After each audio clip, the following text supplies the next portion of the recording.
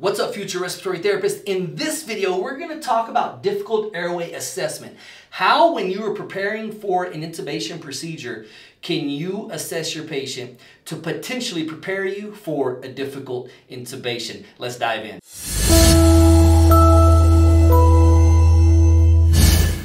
All right, so as I stated, we're talking all about difficult airway assessment in this video. Before we jump into that, check out the Respiratory Coach website, respiratorycoach.com, where you can find a plethora of, of, of, of video-based courses designed to aid you along your educational journey to assist you in passing the TMC and the CSE exam, as well as assisting you in, in, in various specific subjects such as pharmacology or formulas, uh, or neonatal care, uh, whatever it is, uh, there's a course there and more to come. So please check out that website if you're looking for assistance along and during your educational journey. Now, we're talking about difficult airways in this video, and there are several tools that we can utilize to help us um, preemptively assess our patient to to help us be more alert and aware to a potential a potential difficult airway. This is going to be very very important when we are potentially going to be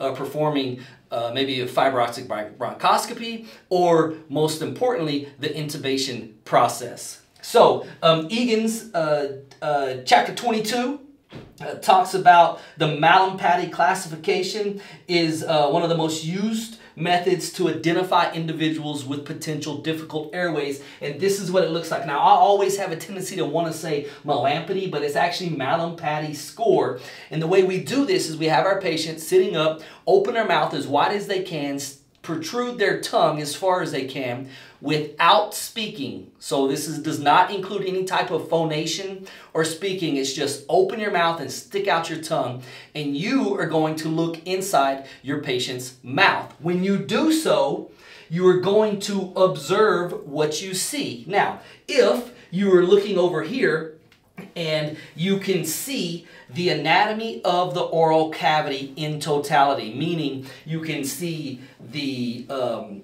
you can see the uh, faucial pillars, you can see the uvula, you can see the soft palate, and you can see the hard palate. Those are the four categories that you're looking for when assessing the Mallampati score. If you can see all four of those components, then your patient has um, a um, Mallampati score of 1. Now, let's say that you perform this maneuver and you can see the hard palate and the soft palate and the uvula, but you can't see the pillars. Well, then that would be classified as a 2. So you can see we've lost a component. The four components that we're looking for here are hard palate, soft palate, uvula, pillars. And, and if, if you can't see all four of those, then you have to ask yourself, okay, what's missing? So if the pillars are missing, but you can see the other three components, then you have a 2. Now, we're going to draw a line right here because once we get past 2, a, a, a, Malamp, a Mallampati score of 3 or 4 is associated with a more difficult airway. When we look at the 3 over here, we can see that we see the hard palate, we see the soft palate, and we see maybe the base of the uvula, but not the uvula in its entirety, and we cannot see the pillars. So we've lost now two components. This is now going to yield us a, a, a uh, Mallampati score of 3, and then the, the uh, highest score is a 4, and a 4 is indicative of, again, a difficult airway, potential difficult airway. And we see when we look here is all we can see is the hard palate. We've lost the soft palate, we've lost the uvula, and we've lost the pillars. So all we can see is the hard palate. And then we now know that this is a Mallampati score of 4.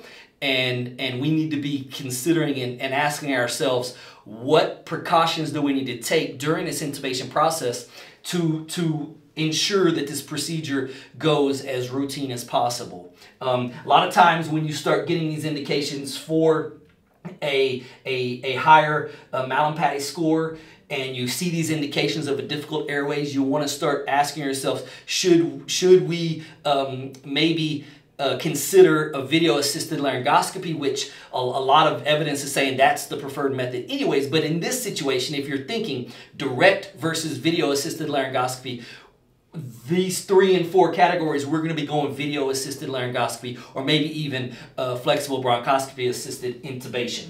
And so we see where, where these are going to be more difficult airways than what we see with one and two. And that's the Mallampati score. Now, I'm going to tell you, the Mallampati score is not um, a solid independent predictor of a difficult airway. Actually, a study from, from uh, 2023 actually revealed that even with implementation of the Mallampati score, still over 90% of, of intubations were deemed difficult intubations uh, that were unanticipated. And so, even with these precautions, you still always have to be on your toes because you never know when the intubation procedure is going to become a difficult process or not. Okay, so this is just a tool to help you preemptively prepare yourself for this is setting up like a difficult intubation. Now, another tool we can use is called the thyroid, thyromental distance. This is oftentimes abbreviated to the TMD. So this is a thyromental distance. And what we see here is, is we're going from the, uh, the, th the protrusion of the thyroid cartilage up to the mentum. Now, the mentum is the tip of the chin. And so what we're looking for here is that this is a six centimeters. That's the mark we're looking for. Okay, and now I know what you're thinking, like who's going to pull out a ruler and measure this? Well, maybe not, but I'm going to show you a shortcut here in just a second. What we know is, is that less than six centimeters um, of a TMD or a thyromental distance is associated with uh, a risk for potential intubation. The neck is shorter, the airway may be more anterior, and what we see is, is that this is uh, potentially going to be associated with a difficult uh, establishment of an artificial airway. Now, again, like I said, are you going to pull a ruler out and measure this? Likely not. But the rule of thumb is essentially you take three fingers and go from here to the chin. And if you can place three fingers like this, in that place, and that's approximately six centimeters, and that is associated with your six centimeter rule. It's not a hard rule, but it's a general um, kind of a, a, general approach that you can take to assessing this. So if you ever see somebody preparing for an intubation and they are assessing the patient and they take three fingers and put it underneath their chin like this and assess then that's what they're doing. They are assessing the thyromental distance. They also are probably going to look into their mouth. And what we find is, is that if you have a decreased thyromental distance and you have a, a Mallampati score of three or four, then now we have two data points that are suggesting difficult, potential difficult airway establishment.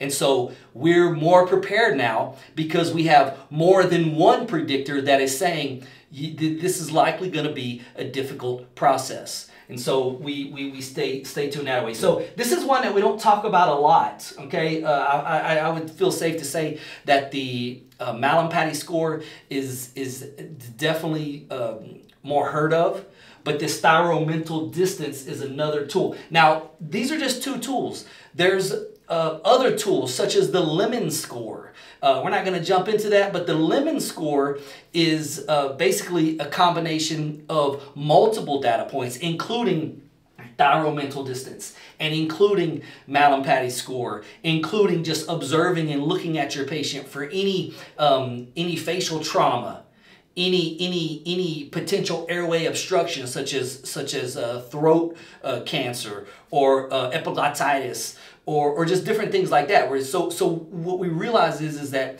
it's not just oh the patient let's intubate this patient. There is a process of we need to intubate this patient. We need to establish an airway. Now let's take everything into account that we can to be best prepared to be successful on the first attempt in the least amount of time with the least amount of trauma while we establish this artificial airway. And that's what these assessment tools are all about. Now, to summarize, um, I just want you to be familiar with the various tools used uh, to assess potential airways. As respiratory therapists, we're at the head of the bed. We're heavily involved in the intubation process, and we need to be familiar with these terms so that when uh, we are being asked or when they are happening, we are familiar with them. Or maybe we're the ones who initiate them. Maybe we go in and do an assessment. We need to intubate this patient. Hey, by the way, we've got signs of difficult airway based off of the TMD and the Mallampati classification. Um, always be prepared regardless of the assessment findings. I want to emphasize this right here. I'm not telling you that if you have a, a, a thyromental distance that meets the three finger criteria and, and you have a Mallampati score of one, that it's going to be an easy intubation. That, that's, that's not what we're saying here. Because again, over 90% of intubation attempts that are become difficult were unanticipated. And so it does not, the, the, the lower scores does not mean it's not going to be difficult.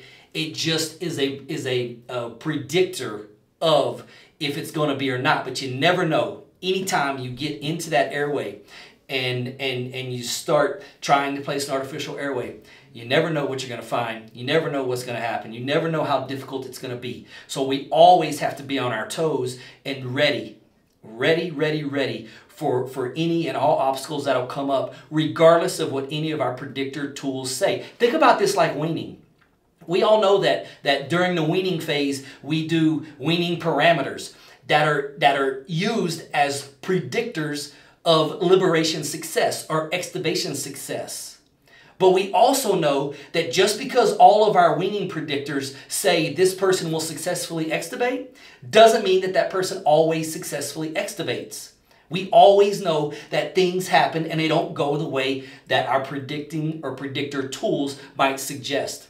That's why we're there. So that, that, that we have our primary plan, our contingency plans, and are ready to go for whatever happens along the process. So that's uh, two tools. That's the uh, Mallampati and the uh, thyromental distance tools help to help you assess difficult airways potentially. Uh, I'm respiratory coach. Stay here with me on YouTube. If you haven't done so already, hit the subscribe button, please leave me a comment and hit the like button. Uh, it helps me and motivates me to continue putting this content out for you to help you along your journey. Come find me on Instagram and TikTok at Respiratory Coach, LinkedIn at Joe Lewis, and then don't forget respiratorycoach.com. Your resources, your resource for um, the tools that you're looking for to assist you along your educational journey as you become a registered respiratory therapist. Hey, remember at the end of the day, average is easy. Don't be it.